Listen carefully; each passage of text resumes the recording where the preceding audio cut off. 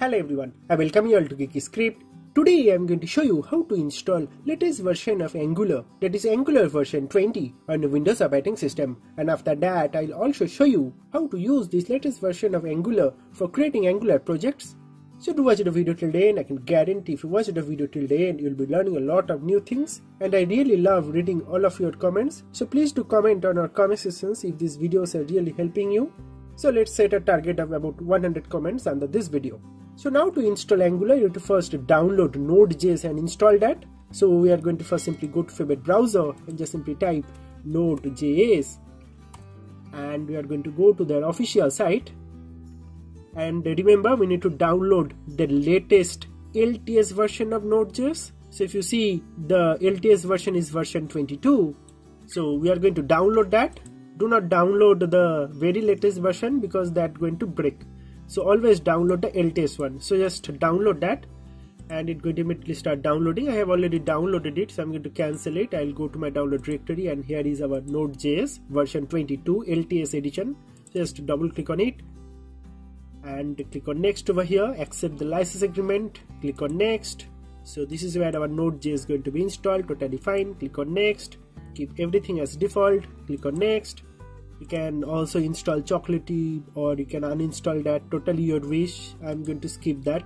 So just simply click on next and it's ready to be installed. Click on install. So node.js going to install. Before that it's going to ask you for administrative privileges. Click on yes and there you go. So let's minimize our download directory and wait for a couple of minutes over here and there you go. So you can see that our node.js is rightly installed. Click on finish. Now to verify just simply go to search and just simply type cmd to open your command prompt. And within command prompt if you just simply type node space dash v and just simply hit enter. You are going to get this version. That is version 22 that is exactly what we have installed. LTS version. Remember that. So once you have node installed it's time to install latest version of angular. That is version 20 so for that we are going to use the CLI itself. So we are going to type npm then install dash g that is basically we are going to install it globally and then it provide at the rate angular slash CLI hit enter. So that's going to immediately start installing angular globally on our system. You need to have active internet connection as well. And there you go. So you can see that our angular is rightly installed. So let's verify our angular version as well. So just simply type ngv hit enter and you are going to get this angular CLI version that is angular CLI version 20 alright you, you can also see the node version as well. So if you are getting this type of prompt then all that basically mean is your angular is rightly installed on our system and now it's time to create an angular project. So for that you need to also have Visual Studio installed. So on my previous videos I have already showed you how to install Visual Studio Code so you can easily install that. It's not a big deal. If you are facing any issues you can always refer to this video. So just simply double click on Visual Studio and click on open folder. And here let's create a new folder and name this folder name as angular projects. So all the angular projects that i'm going to create going to reside on this folder. So select folder so angular project folder rightly open. Now let's go to terminal and click on new terminal.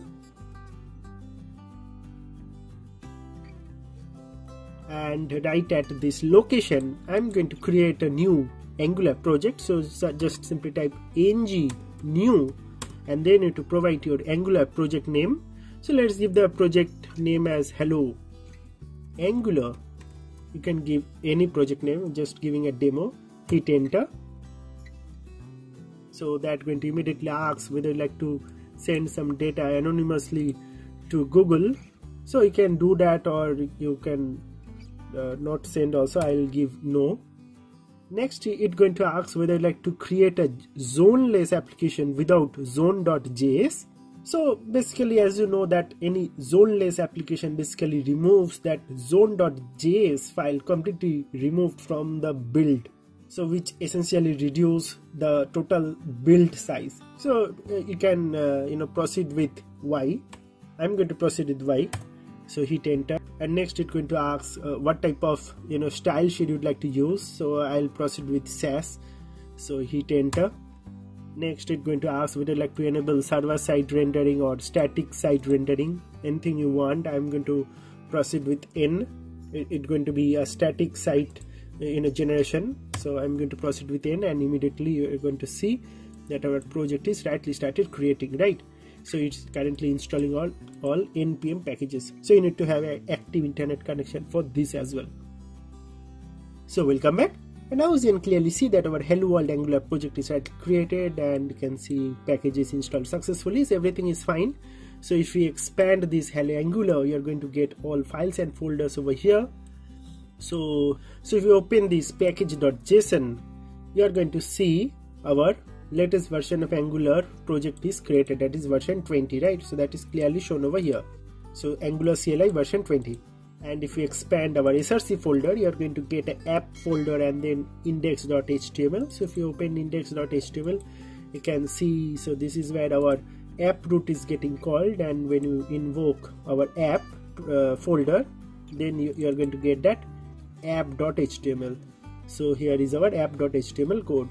So now it's time to run our project. So for that i'm going to give you a tip. So just click on this triple icon and to enable these npm scripts.